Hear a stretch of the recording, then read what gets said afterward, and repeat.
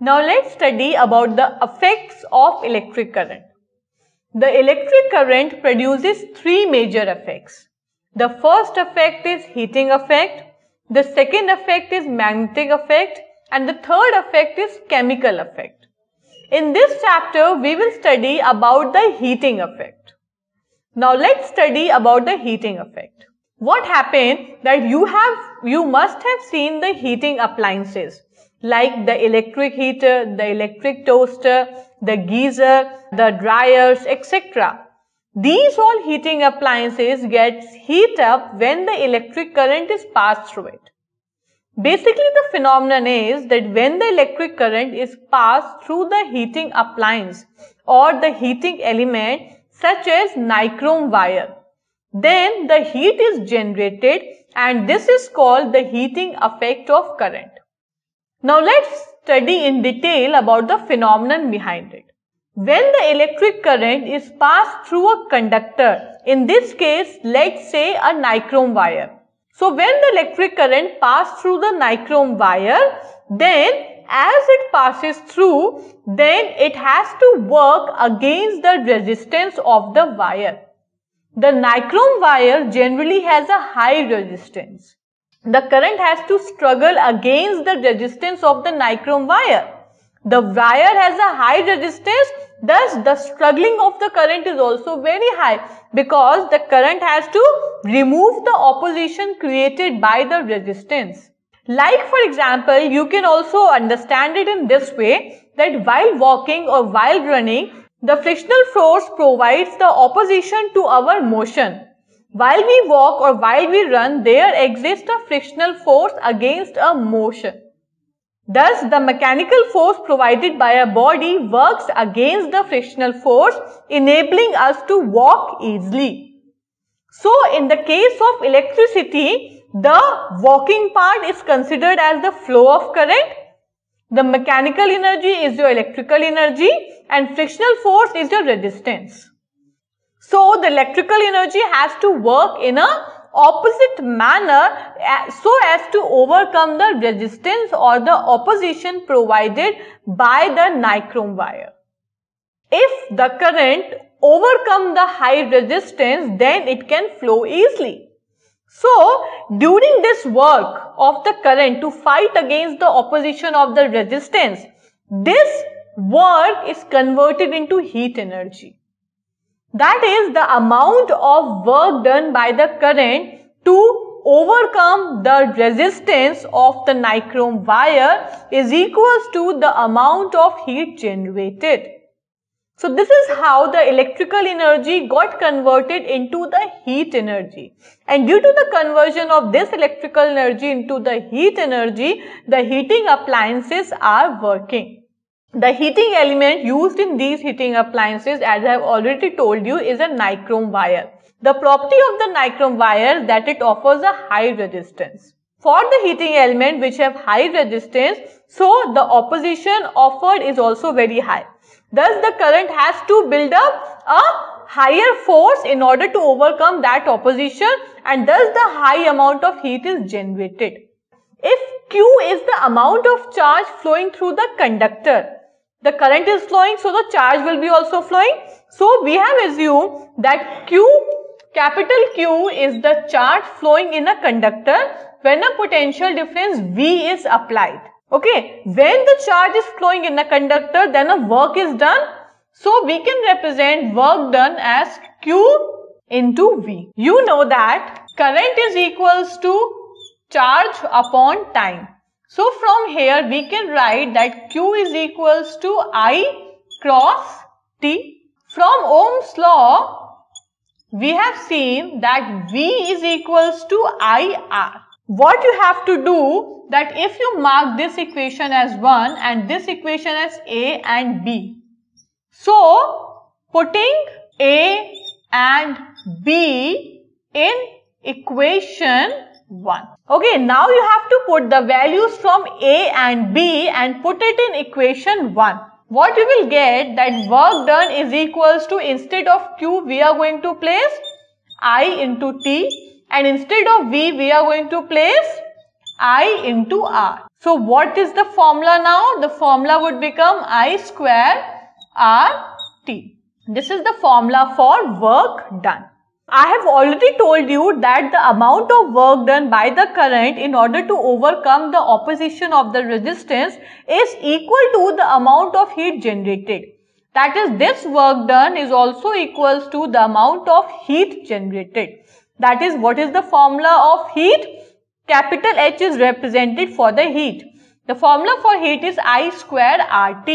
So from this formula, we can easily conclude that the heat is directly proportional to current. The heat is also directly proportional to resistance. The heat is also directly proportional to time taken by the current to flow through the conductor. The heat energy that we have seen is given by the formula H is equals to I square R T. Okay, so this formula is also called Joule's law of heating. This Joule's law of heating states that the heat is generated in a conductor when the current is passed through it and the conductor is having a resistance capital R. The current flows through the conductor is in a time period denoted by small t. So H is equals to R square RT is a law of Joule's law of heating. Now let's see from this particular formula that what are the parameters on which the heating depends upon. The first parameter that you can see from this formula is I square R. Okay, now let's talk about I. Capital I denotes current. Okay, so heat is directly proportional to current square. In this formula, you can easily deduce that there is a sign of direct proportionality between the two. Okay, that is when heat increases, the current also increases. Now just see it carefully that the heat is proportional to the square times of the current. That is, if the current becomes 2 times, then the heat increases 4 times. If the current becomes 3 times, then the heat increases 9 times because there is a sign of proportionality in between.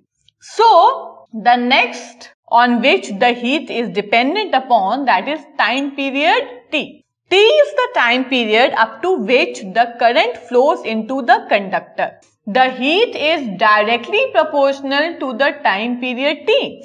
That is, the time period up to which the current is flowing in the conductor, then the heat is generated into it. It is directly proportional to it. So, it also means that when we increase the heat, the time period also increases.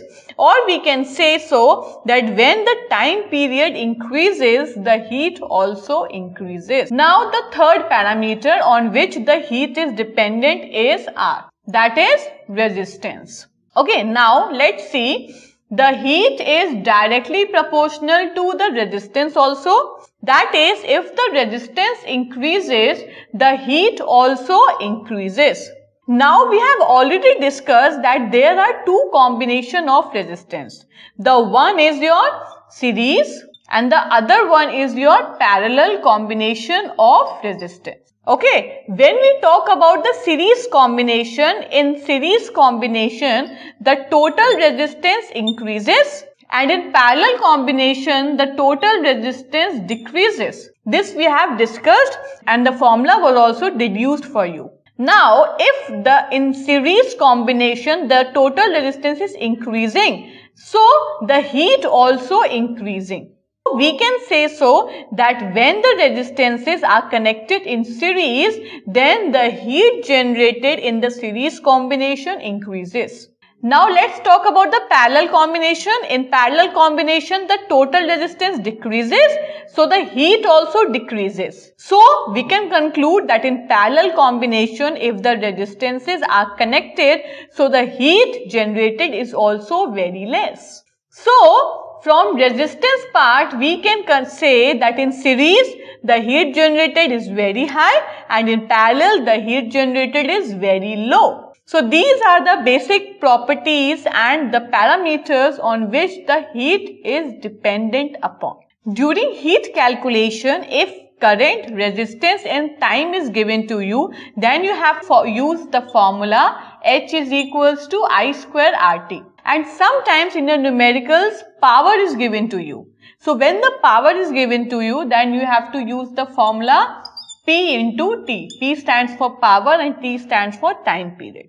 So these are the two formulas indicating the same heat energy. Now, all electrical appliances do not produce heat. Only the electrical heating appliances produce heat. Like for example, room heaters, geysers, dryers, electric kettle, they produce heat because they are the heating appliances. When the current is passed through them, then the heating material used in those appliances gets heated up and provides us the heat energy. But the other electrical appliances like for example fan, the mixie, the washing machine, they are not heating appliances. Okay. So they don't produce heat because they don't use the heating element. Now if the current is passed through it, then some amount of heat is produced in them. Like for example, you have seen the fan. When the electricity is passed through it, then it converts the whole energy to rotate the blades of the fan. Okay, it does not produce heat energy enough, but some amount of heat is still generated when the fan kept on for longer time. So, in order to rotate the blades of the fan, the electrical energy got converted into negligible amount of heat energy.